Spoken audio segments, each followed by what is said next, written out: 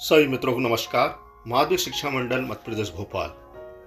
दिनांक तेईस चार दो हज़ार चौबीस प्रेस विज्ञप्ति जारी की है और ये प्रेस विज्ञप्ति माध्यमिक शिक्षा मंडल द्वारा बोर्ड परीक्षा दसवीं और बारहवीं के रिज़ल्ट को लेकर की गई माध्यमिक शिक्षा मंडल द्वारा आयोजित हाई स्कूल, हायर सेकेंडरी एवं विद्यालय पूर्व शिक्षा में डिप्लोमा, डीपीएससी मुख्य परीक्षा 2024 के परीक्षा परिणाम दिनांक 24 चार 2024 को अपराह्न चार बजे माध्यमिक शिक्षा मंडल मुख्यालय के सभागृह में घोषित किए जा रहे हैं।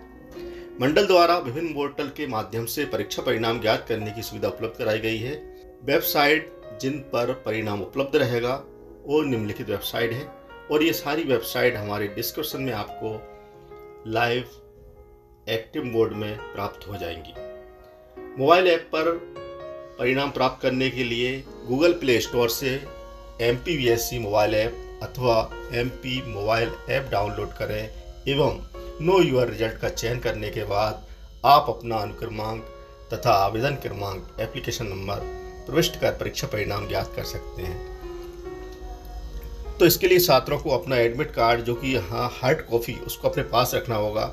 ताकि उसमें आप रोल नंबर देख सकें और एप्लीकेशन नंबर देख सकें और उसको वांछित स्थान पर फिल करके अपना परीक्षा परिणाम जान सकते हैं। तो रेडी रखें रोल नंबर अपना और आप परिणाम जान सकते हैं और आशा करते हैं कि आपका परिणाम अच्छा आएगा। सभी को best of luck thank you जय हिंद, जय भारत।